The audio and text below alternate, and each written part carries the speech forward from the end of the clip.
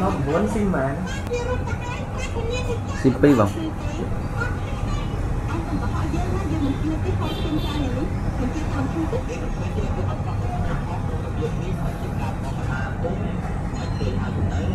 nhưng mà chị Phương, có lúc đăng ký cho mình lúc đăng ký.